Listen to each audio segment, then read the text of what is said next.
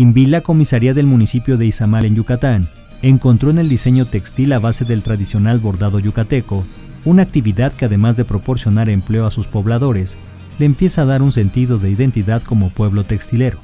Aunque desde hace poco más de 40 años muchas familias se dedican al bordado, fue a partir del desastre causado por el huracán Isidoro en 2002 que Quimbila empezó a experimentar una especie de florecimiento de la confección de ropa típica. Hoy es posible admirar y comprar desde blusas sencillas con un costo promedio de 250 pesos hasta elaborados y suntuosos ternos y huipiles cuyo bordado a detalle los hace una auténtica obra de arte. Con el éxito comercial empezó a crecer el número de negocios dedicados a este giro, que van desde pequeños talleres de bordado hasta tiendas perfectamente establecidas y que ofrecen piezas con diseños y bordados que superan en promedio los 5 mil pesos o más. Pero el colorido, luminosidad y calidad de las prendas que hoy elaboran los artesanos de Quimbila sin duda hacen que la visita y la experiencia valgan la pena.